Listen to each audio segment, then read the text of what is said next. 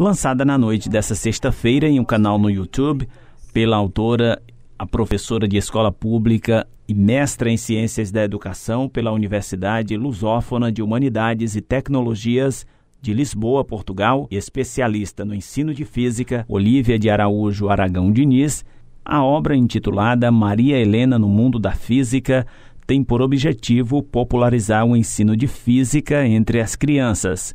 A obra tem 72 páginas e está dividida em seis histórias. No livro é possível encontrar ilustrações do teatro científico que era encenado, inclusive aqui no Centro de Estudos Superiores de Caxias, e também experiências nos laboratórios de física.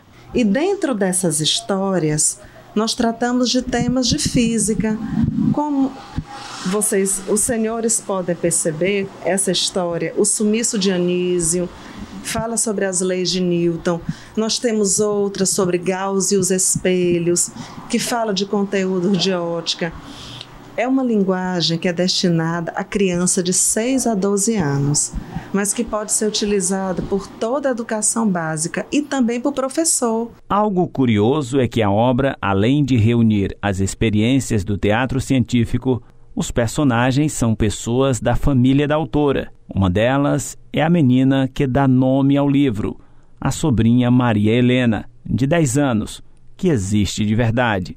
Como os meus professores do CEF e também os que vêm aqui em casa, eles me ajudam a interagir nos meus estudos e eu vou ajudar as outras crianças a interagir no delas. Olivia exemplifica como é possível tratar de assuntos complexos de modo simples e em linguagem para crianças.